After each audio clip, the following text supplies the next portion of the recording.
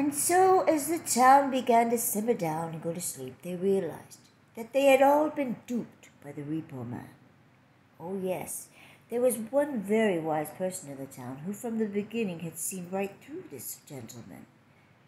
As she would have never called him a gentleman, she would have jumped into the nearest tree had she actually come across this person. She knew immediately that he was full of shit. Had the town come to her to begin with, they would have never even ventured to even talk to this person.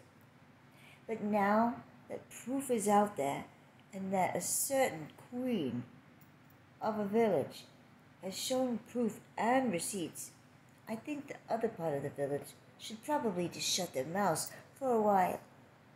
We will see and keep abreast of the situation, but for now, everyone should just go to sleep and try to have good dreams, for tomorrow it's TGIF.